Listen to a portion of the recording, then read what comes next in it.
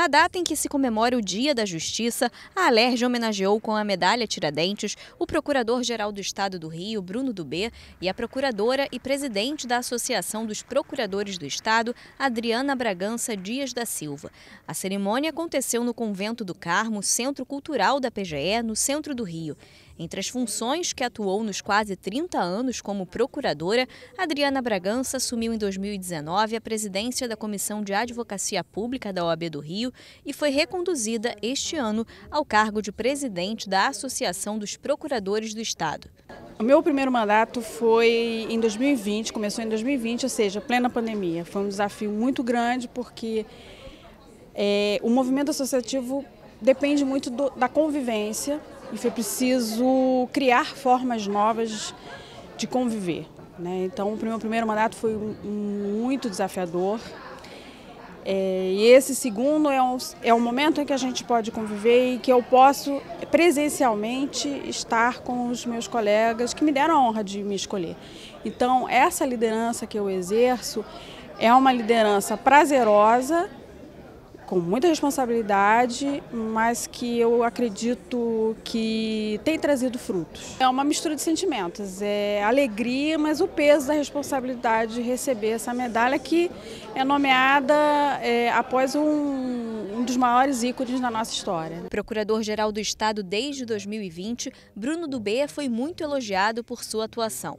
Ele falou do diálogo que tem promovido entre as instituições e elogiou o trabalho e parceria de todos os procuradores do Estado. Uma satisfação muito grande receber dos parlamentares e da, da presidência da Alerj esse reconhecimento pelo trabalho que a gente vem desenvolvendo nos últimos anos e fruto de uma grande parceria, uma grande interlocução e um diálogo muito efetivo e profícuo entre as duas instituições.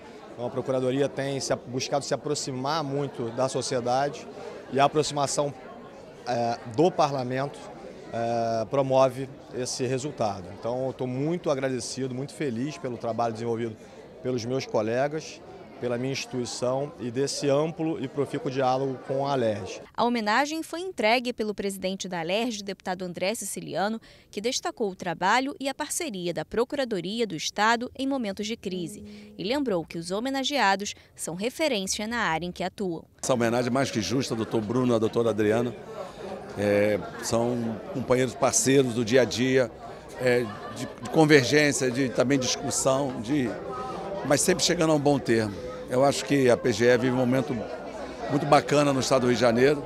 E homenagem ao doutor Bruno, homenagear o doutor Bruno, homenagem à doutora Adriana, é homenagear toda a Procuradoria. E, e, e homenagear também o servidor público estadual. Eu acho que hoje é um dia com muito significado, que é o dia 8 de dezembro, dia de Nossa Senhora da Conceição, dia da Justiça. E nada mais justo que fazer uma homenagem nesse dia. Eu acho que estar nesse local aqui belíssimo, né?